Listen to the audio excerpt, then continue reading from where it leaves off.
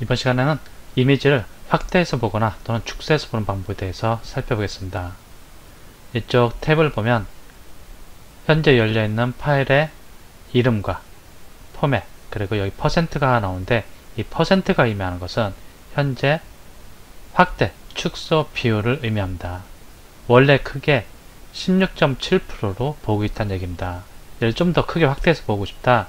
그러면은 키보드에서 컨트롤 키를 누른 상태에서 숫자 키패드에서 플러스 키를 눌러줍니다. 그럼 이런 식으로 점점 확대가 됩니다. 여기 보면 퍼센트가 점점 올라가는 것을 볼 수 있고 컨트롤 키를 누르고 계속 플러스 키를 눌러줍니다. 그럼 점점 계속 이렇게 확대가 됩니다.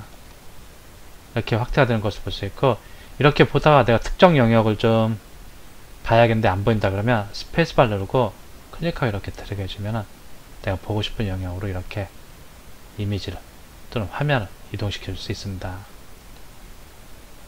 지금 300% 크기로 원래 크게 3배 크기로 보고 있는데 이번엔 축소해서 보고 싶다. 그럼 컨트롤 키를 누르고 숫자 키패드에서 마이너스 키를 눌러줍니다. 그럼 이렇게 점점 view가 축소되는 것을 확인할 수 있습니다. 여기 보면은 퍼센트를 입력해서 100% 이렇게 볼 수도 있고 이 View 메뉴로 가면 여기 줌인 단축키가 컨트롤 플러스 플러스 키입니다. 줌아웃은 확대 축소 컨트롤 플러스 즉 컨트롤 키를 누른 상태에서 마이너스 키고 Fit on Screen을 하면 컨트롤 플러스 0인데 이 스크린에 맞게끔 이미지 크기가 적절히 조절돼서 다 보이게 됩니다. 그리고 100% 크기로 보고 싶다. 그럼 여기 컨트롤 플러스 1키입니다. 숫자 키 1. 그럼 100% 크기로 볼수 있습니다. 여기 줌인과 줌아웃 이건 반드시 단축키를 외워두셔야 되고 그리고 컨트롤 0과 아, 컨트롤 1 얘도 외워두시 기 바랍니다. 실제 작업할 때 많이 사용되는 단축키니까 그리고 얘를 계속 확대를 해보겠습니다. 그러면 이렇게 작은 사각형들이 나타나는데 이러한 것을 픽셀이라고 합니다. 비트맵 이미지를 구성하는 최소 단위는 이 픽셀입니다.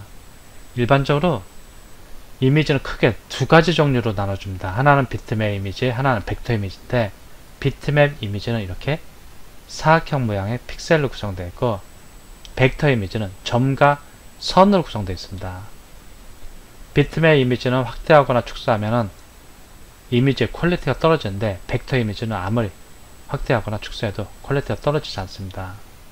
일반적으로 사진을 찍어서 만들어지는 이미지라든지 또는 비디오를 통해서 찍혀진 영상 이러한 것들은 비트맵 이미지입니다. 기본적으로 이미지가 픽셀로 구성된 비트맵 이미지고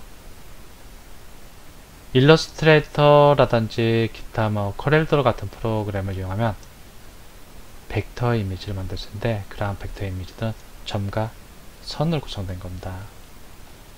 이렇게 작은 사각형 픽셀로 되어 있는 이미지들은 비트맵 이미지인데 흔히 볼 수 있는 비트맵 이미지의 포맷들은 JPG 형식이라든지 포토샵 PSD 또는 PNG, GIF, TIFF, 타가 이렇게 다양하게 있습니다.